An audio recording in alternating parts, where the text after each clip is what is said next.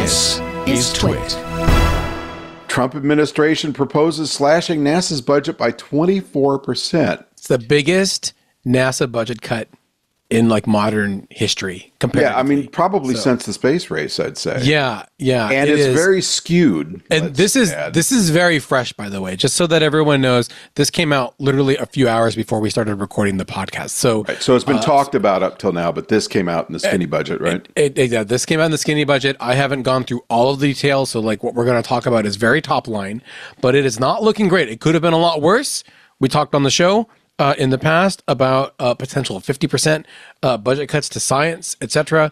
Uh, But but this is this is pretty pretty strong uh, uh, in its own. This is a, a skinny budget for fiscal year twenty twenty six from the Trump administration that would cut NASA funding by six billion dollars. So that means that from twenty twenty five enacted levels, twenty four point eight billion, uh, they're saying no, going back down to eighteen point eight billion. So that's where that twenty four uh, percent comes from and uh, and that I mean it ends a number of uh, of programs. Uh, uh, uh, it means that the uh, the Gateway space station around the moon probably going to go. Uh, Artemis done after Artemis three, which Uh, no, which includes. well, Artemis not as Artemis. we know it today. I, but- I'm, I'm but saying the I'm sorry, SLS I'm- is SLS. The SLS Yeah. is what I'm talking about. SLS done after Artemis three, and then I guess Artemis would, would evolve uh, after that. The um, uh, Excuse me one second. They they all I also read, and I'm not sure if this is accurate or not, was that SLS and Orion would go away after Artemis three. Yeah. But Orion can be launched on a variety of other spacecraft, can it? they could potentially adapt it for that, right? And so, I mean, I think that there was talk about Atlas Five, and and uh, maybe that when the site gets phased out, you could look at Vulcan, that that sort of thing. Um, it's it's they, they've got options with that one because they were able to save it from when it was part of Constellation, uh, etc. So I think that that might be up for for discussion. Uh, Mars sample to return, another one that could be um, uh, that could be uh, uh, uh, on on the on the cutting room floor in at least its current form Right. because of the frustrations and the budget uh, issues right now. Okay, what about And- the Nancy Roman Space Telescope, which was rumored to be on the chopping block and Well, so is that- finished and ready to fly? By the way, That's what I have to look into right now Mm-hmm. because, as I said, like I was looking at the human spaceflight. You know, I'm a rocket person, so I look at the human spaceflight uh, stuff the most. Um, the and, and human space exploration overall actually received extra money, 650 million pass, more. Uh, but but it has these other things that look like they're on uh, on the chopping block. But what I can say, because uh, the Nancy uh, Grace Roman telescope is you know a purely science uh, uh, application, and as you said, already built, etc. We talked with Dr. John Grunsfeld on our last episode about that.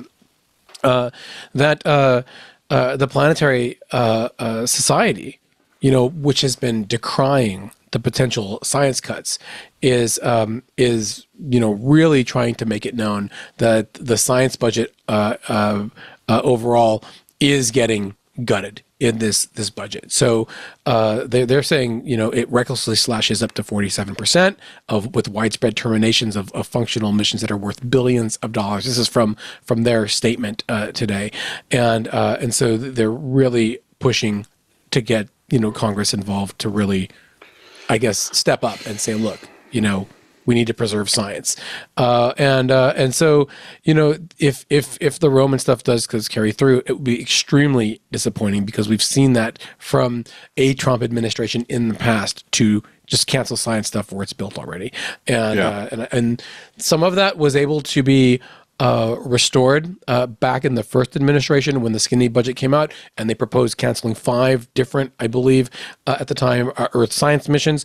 Um, once jo- uh, Jim Bridenstine came in, they were able to restore at least a, good number of those, if not all of them. Like they did not uh, get rid of them. Some of them were active missions, some of them were yet to fly. We're still waiting for Jared Isaacman uh, to be uh, confirmed in the Senate as NASA administrator. He has said that he does not feel that these drastic science budget cuts are a good idea or make sense. Uh, he's on the record saying that to the Senate subcommittee. but he's not administrator yet, so he doesn't Right. have a say. And so there is still a lot in play as to like what's going to happen with these cuts. But it is a really deep cut. Again, very very fresh. I haven't gone into the line items yet from the skinny budget, so I really uh, want to be able to do that. And maybe next episode we can come back and say, look, this is what I found. This is where who's who's squawking, who's who's saying it's a good idea, who's saying it's a bad idea, and we can we can maybe we'll do the whole episode on that. Uh, Rod, I don't know. We'll have to see. Now, is is there a particular person we can think of that has, oh, let's see, an operational space capsule who might want Orion shot down? well, Can we think I mean, of anybody? I, I, I my, my name, my, my, my, my name, my, my, my, my mind is drawing a blank, Rod, as you all know. No, the, the, the, the, the gutting of the, of the SLS and the, the Orion, um, very much makes sense if it's something that comes like from a billionaire owner of another space program that is trying to get customers for their ginormous rocket.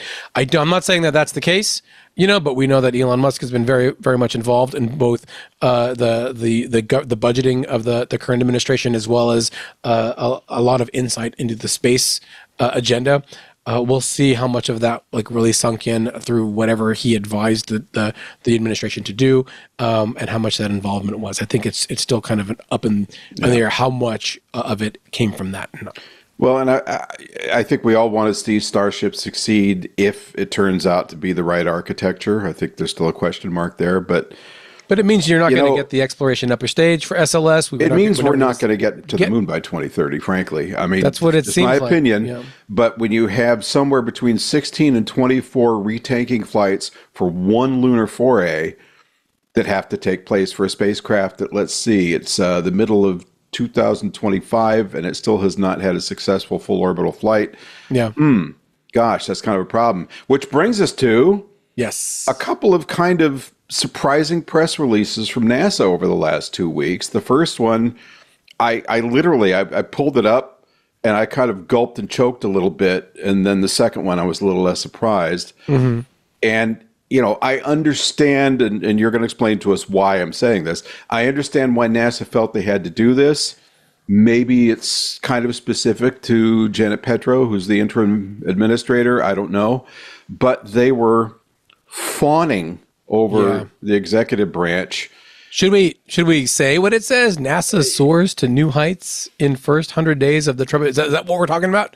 Yeah. Yeah, that one. And uh, President Trump's fiscal year 26 budget revitalizes human space exploration. They forgot the and kills science, especially climate science part. Yeah, yeah. They left that off for That some reason. that to me feels like putting a lot of lipstick on a pig, right? So they have Oink, to oink. They have to spin uh, their budget, uh, even though it has a twenty four percent cut uh, across the board, as as much as they uh, as they can. And so what they are focusing on is like, hey, we've uh, we've we've increased our commitment for human space exploration by by giving them more money to do uh, more things, but we're not going to talk about the fact that we're shutting down or would shut down a, a a whole SLS rocket launch system, which by the way was signed into law. Right, Congress ordered NASA Right. to make that rocket, so they have to change the law to cancel that program. And that would be the moon rocket that we have that actually works, right? Yeah, right. okay. So, uh, and so it's it's a lot of of human spaceflight focused stuff about science technology stuff, all about uh, uh, you know put, uh, putting an American on Mars, not China, uh, getting to the moon before China. You know th- that's what you're seeing in uh, in in this list here, and so uh, you know it's I've I've. I understand why they put that out there because the you know there was always a press release about the the budget, uh, and they have to try to paint as uh, positive a picture uh, that they can. Uh, but there is a lot of politics wrapped up in this one this year uh, because of just the state of the government and how. Um, I guess how divisive the administration has been, especially like with the the, the, the cutting uh, of budgets and uh, and staff at, at agencies, uh, and then just how much the rhetoric has gotten into NASA. We saw it with the moon landings earlier this year, where uh, they're saying you know America first on the moon and and, and whatnot, uh, and and it's it's just it's just stuff that we have to watch out for, uh, so that you're you know you're not taking it all at face value. That you see the context behind a lot of it. Hey, if you enjoyed this clip, be sure to check out This Week in Space. You can find us on your favorite podcast app or see the link in the description below. See you there.